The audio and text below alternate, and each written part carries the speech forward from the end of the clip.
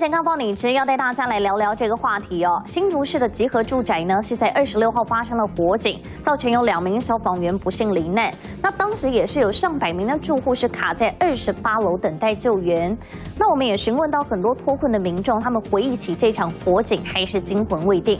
他们就说啊，四方搭上呢，只看到家里冒烟，但是找不到起火点。那后来才知道呢，是管线之间的电缆燃烧，所以只好躲在阳台上面等待救援。那虽然说现在住户都已经平安脱困了，但是有医师提醒哦，住户你要小心的是吸入性的损伤。那所谓的吸入性的损伤呢，主要就是因为火场里面的热风、还有烟雾、还有化学物质被你吸进到呼吸道，那进而引发你的气管啊或者是肺部的损伤。如果没有早期治疗的话呢，死亡率是很高的。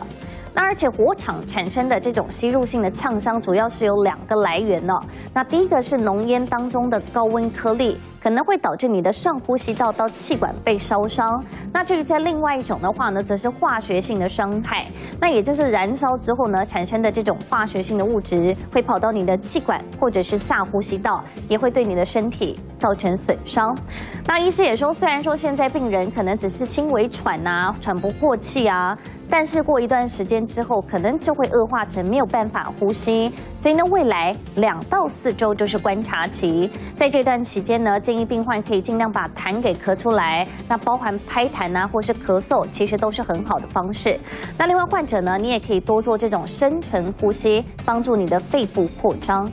那我们来看到，也有另外一位医师提醒啊，其实火灾的伤害有可能是在二十四小时到七十二小时之内会陆续发生的。那在二十四小时之内呢，病人可能会出现严重的呼吸道的肿胀，甚至呢，你的体液会大量的丧失，产生一些电解质不平衡的现象。所以在七天之内，一定要特别留意的，就是要补充营养素。